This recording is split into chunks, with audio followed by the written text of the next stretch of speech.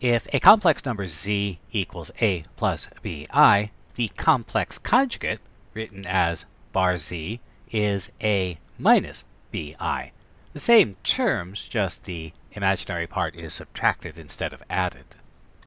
For example, let's find the conjugate of 8 plus 2i.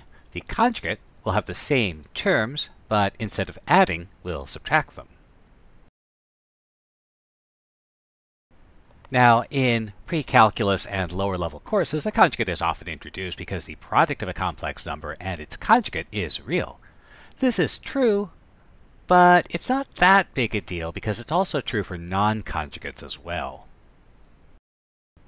For example, let's find a non-zero complex number a plus bi, where the product a plus bi times 8 plus 2i is real, but a plus bi is not the conjugate of 8 plus 2i. So let's set that up. We want to consider the product, and let's go ahead and expand it.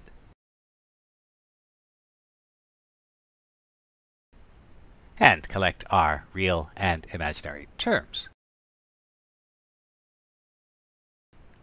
Now, in order for the product to be real, it's sufficient that the imaginary part be equal to zero. And notice that there's an infinite number of possible solutions to this equation. For example, a equals 4, b equals negative 1, and that gives us a factor 4 minus i, where if we multiply it by 8 plus 2i, we get a real number.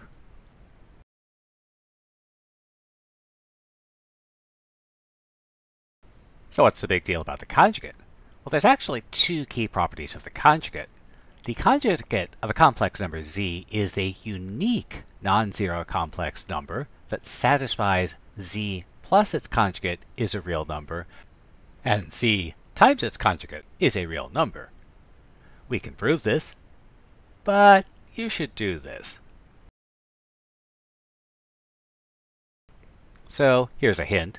A general strategy to prove that something is unique is to assume that there's another one.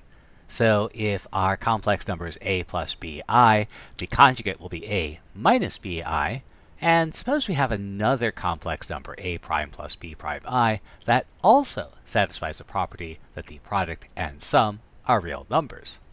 What does that tell you about a prime and b prime? Now, in addition, the conjugate satisfies a number of other properties. Let u and v be complex numbers. Then the conjugate of a sum is the sum of the conjugates. The conjugate of a product is the product of the conjugates. The conjugate of the conjugate is the original number. And the conjugate of a power is the same as the power of a conjugate, at least for whole numbers n.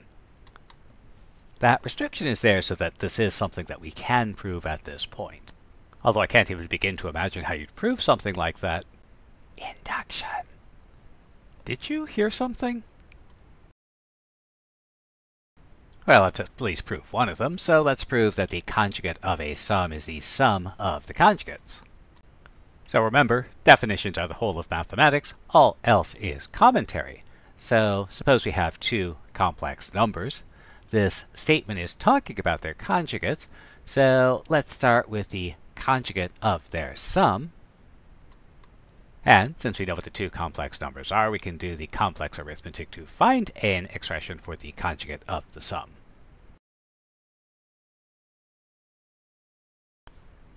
Now, it's useful to think about a proof as building a bridge from one point to another, and sometimes it's convenient to work from the end. The important thing is that if you are starting at the end, you can't go past the end. You have to go backwards. So we want to end with the sum of the conjugates of u and v. Definitions are the whole of mathematics. All else is commentary. We can always go backwards on a definition. So we know what the conjugate of u and v are. And let's see if we can bridge the gap between our two lines. And we see that it is only a matter of rearranging our terms and so that joins beginning to end, and we have our proof.